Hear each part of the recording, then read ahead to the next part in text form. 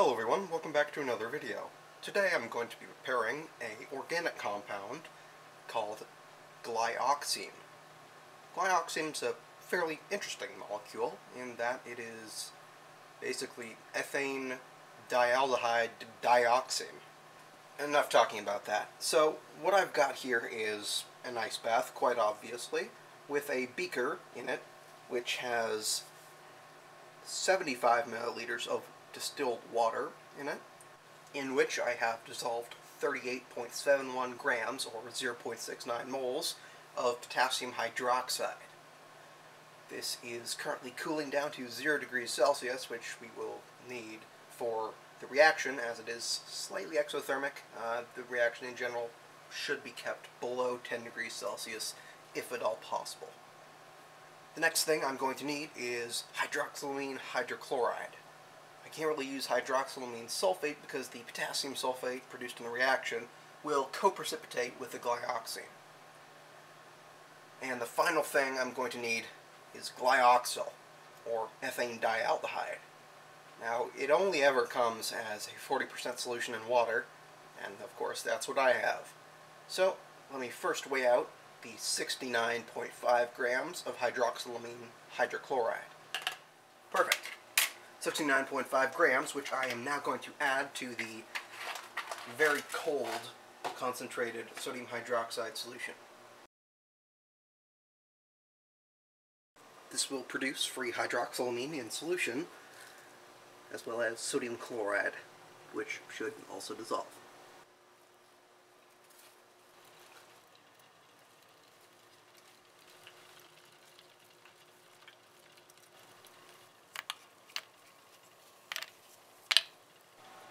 So now I'm going to measure out 72.5 grams of 40% glyoxal solution in water.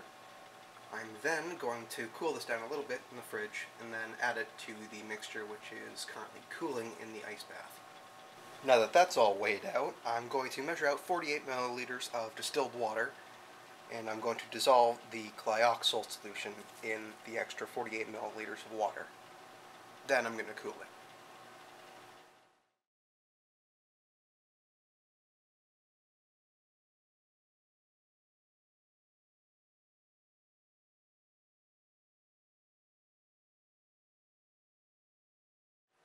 Okay, it's been a little while, probably about 15 or 20 minutes, and the glyoxal is nice and cool. Probably around 15 degrees Celsius. The reaction mixture is at 4.1 degrees Celsius, so well below the maximum temperature for this reaction. So, I'm going to slowly pipette in the glyoxal solution and measure the temperature and continuously monitor it to make sure it doesn't get above 10 degrees Celsius. You may be able to see there is some sodium chloride that hasn't dissolved and honestly I really don't care. That's okay. Uh, with that being said, I'm going to go ahead and start the addition of the glyoxal solution.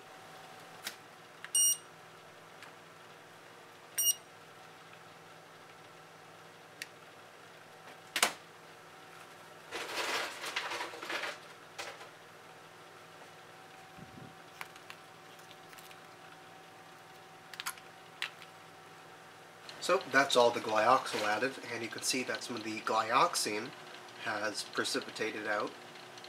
And that's good news. That just means that there's more to come. So I'm going to let this stir for a further probably about 30 minutes or so. Then I'm going to put it in the refrigerator for a further 15 minutes to cool it down.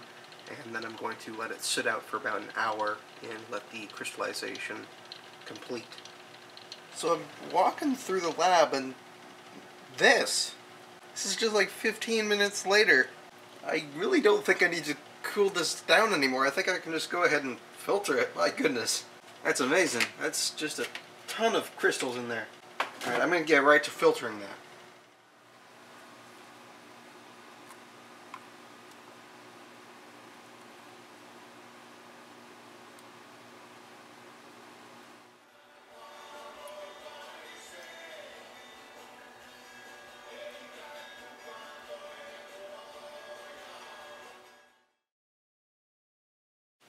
So at this point I go on a long tangent about how you have to recrystallize the crude glyoxime from diethyl ether, and that's a load of shit, I'm going to be honest. You don't even need diethyl ether in the first place. So, not only is glyoxime only sort of soluble in diethyl ether, it's don't even don't even worry about using diethyl ether. Just completely skip that entire that entire step. Instead, what I did was I recrystallized it from boiling water, much like you would uh, something like nitroguanidine. That leaves you with much nicer, larger crystals than uh, what you get with the diethyl ether, and you also don't waste about two-thirds of your stock. So I highly recommend not recrystallizing your glyoxime from diethyl ether, and instead doing it from boiling water.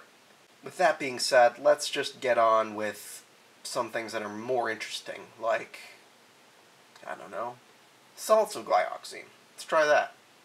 Stuff like lead, silver, and copper glyoximate. That's pretty cool. Let's take a look. So let's start out with something basic. That would be basic copper glyoximate. It's a brownish black powder and is only mildly sensitive to heat and flame. So let me go ahead and put a butane flame on it and we'll see what it'll do.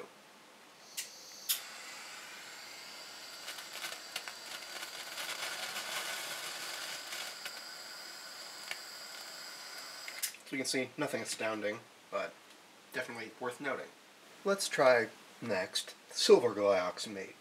It's a sort of grayish slash just barely maroon powder, which is fairly sensitive to heat and flame.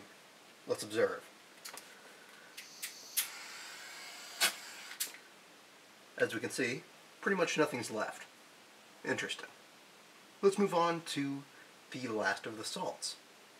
Finally, we have lead glyoximate, the most sensitive to heat and flame out of all the glyoximate salts. Let's observe. Very interesting. And finally, let's take a look at glyoxime itself, which you may be surprised at well, how it reacts to a flame. Let's take a look. Here I have a watch glass on which I'm going to place a small amount of glyoxime.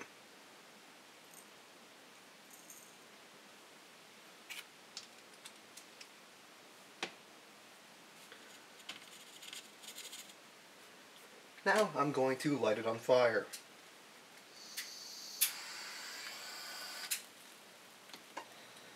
As you can see, it's pretty tame, I guess you could call it.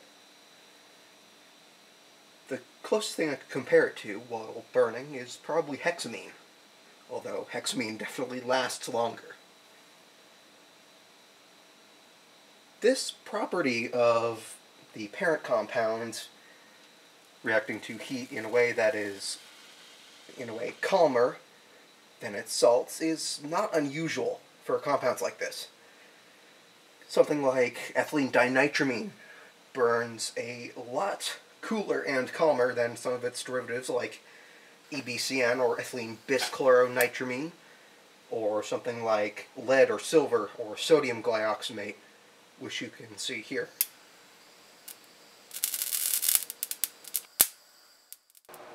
That was, you know, few properties as well as the synthesis of glyoxime. I really hope you enjoyed. This was a very, very fun video to make. You can like if you want to, subscribe if you want to, and thank you so much for watching. I'll see you all next time. Special thank you goes out to my Patreon supporters. I can't make videos like these without all their support. So, I must say thank you. I couldn't do it without you.